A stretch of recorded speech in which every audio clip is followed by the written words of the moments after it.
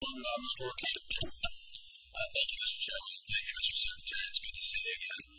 Um, I want to direct your your attention to this chart that I've put up. It uh, discusses how much we've been spending on education as a federal government versus the results. I've heard already just recently that we should be commending that investment in terms of we're throwing money at it. And I've heard you say that we need to level the playing field relative to other countries. So when you look at this chart and you see the blue line, which represents our spending since the installment of American Socialism, known as the Great Society, took place a chapter that birthed your agency, as a matter of fact. Um, and you see these lines. You see an orange line, a green line, and a gray, maybe uh, a purple line. And those lines that are flat-lined represent our reading scores. We making federal investments in education, it represents our math scores, and it represents our science scores. Now, we were just told that we should commend the investment. What part of that investment should we commend?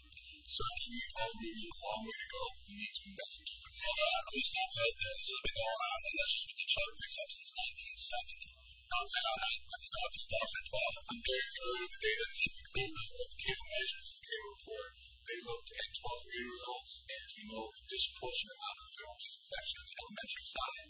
So the elementary results will be better. But I think where we might agree is that we have a long way to go in education. What we're doing today isn't good enough to keep jobs in schools going forward.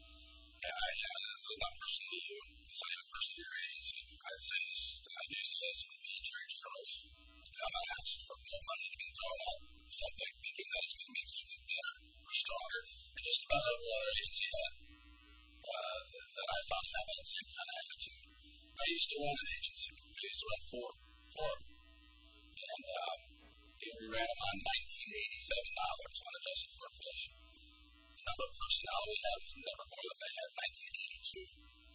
And you can look through the press clips. You can look at anything about my agency. You can't say that we gave bad service or that we were supported in any way. So it's uh, mantra, and and it's really, which is below you, I know, uh, that says, just give us more money because we can make things better. It doesn't work anymore. Any more responsibility to that. So hopefully, nothing like saying, you hear me say, just give more money. Hopefully, let me ask that. Hopefully, you did say that. I thought your budget request counts consolidation of 38 programs into 11, which 22 of those 38 programs didn't even receive funding last year.